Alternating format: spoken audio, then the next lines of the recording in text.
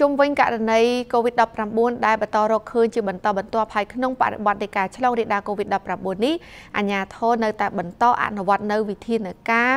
តឹងរឹងនិងវិធានការរដ្ឋបាល ហើយក៏មិនលើកលែងដែរចំពោះករណីល្មើសទៅនឹងវិធានការនេះជាក់ស្ដែងពាក់ព័ន្ធទៅនឹងទីតាំងខារ៉ាអូខេ2កន្លែង ដែលលួចបើកទទួលភ្ញៀវឥឡូវនេះគឺមានការចុះទៅខាត់បានមនុស្សចំនួន32នាក់និងមនុស្សជាង100នាក់បានរត់គេចខ្លួនសមត្ថកិច្ចបានបិទទីតាំងខារ៉ាអូខេ2 ទីតាំងនៅឯមូលដ្ឋានខណ្ឌពោធិ៍សែនជ័យដោយសារតែមានការលួចលាក់បើកទទួលភ្ញៀវនោះគណៈបញ្ជាការឯកភាពខណ្ឌពោធិ៍សែនជ័យនៅវេលាម៉ោង20និង20នាទីយប់ថ្ងៃទី14ខែមិថុនាឆ្នាំ2021ម្សិលមិញនេះបានចុះបិទខារ៉ាអូខេយីហោ Party ដែលមានទីតាំងនៅតាមបណ្ដោយផ្លូវបេតុងភូមិបប្រក់ត្បូងសង្កាត់កាកាទី1ខណ្ឌពោធិ៍សែនជ័យរាជធានីភ្នំពេញ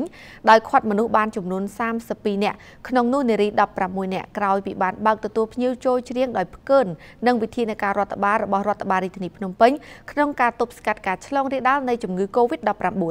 ភ្លាមភ្លាមក្រោយបញ្ចប់ភារកិច្ចបិទខារ៉ាអូខេយីហោ Party កម្លាំងគណៈបញ្ជាការឯកភាពខណ្ឌពោធិ៍សែនជ័យបានបន្តចុះល្បាតដើម្បីធ្វើការត្រួតពិនិត្យតាមភោជនីយដ្ឋានអាហារដ្ឋាននានាទៀតនៅក្នុងមូលដ្ឋានខណ្ឌខណៈដែលទៅដល់មុខទីតាំងខារ៉ាអូខេមួយកន្លែងទៀតយីហោជីនជុនដែលស្ថិតនៅមហាវិថី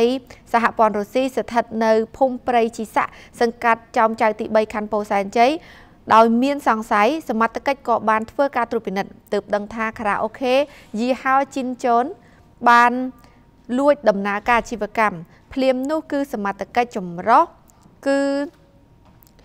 ខណ្ឌពោធិ៍សែនជ័យនេះគឺ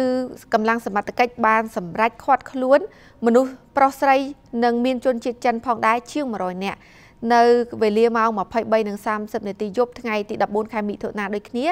ដោយឲ្យនៅក្នុងបរិវេណខារ៉ាអូខេនោះសិនដើម្បីព្រឹកឡើងត្រូវយកសំណាក់អ្នកទាំងនោះសិនលុះដល់វេលាទៀបភ្លឺមនុស្សជាង100នាក់នោះបានគាស់ទ្វាររត់ចេញអស់ជុំវិញព័ត៌មាននេះនៅព្រឹកថ្ងៃទី15ខែមិថុនាឆ្នាំ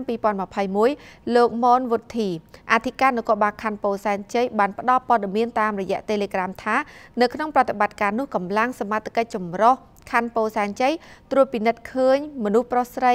មានទាំងជនជាតិចិន ទាំងចុងភៅសរុបប្រមាណ150នាក់